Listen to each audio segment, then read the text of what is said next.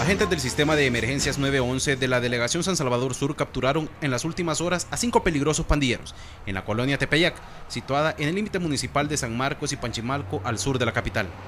Son parte de una estructura que ha causado homicidios en la zona, ¿verdad? Uno de ellos pues se le está hallando ahorita una orden judicial por homicidio grabado, que es el señor Eric Armando Cercos. Todos pertenecen a la área 18 de aquí de, de San Marcos. Los arrestos se registraron gracias a la denuncia ciudadana y al rápido accionar de las autoridades policiales. Estos se habían apoderado de un mesón, parte de un mesón donde habían particulares, pero no informaban nada a las personas por temor a la presencia de gracias a la cuestión de la relación policía-comunidad, policía comunitaria, la gente está confiando más e informa de inmediato, siempre cubriendo la identidad de los ciudadanos. A los detenidos se les incautó un revólver calibre 38 y 25 cartuchos para fusil M16 y AK-47.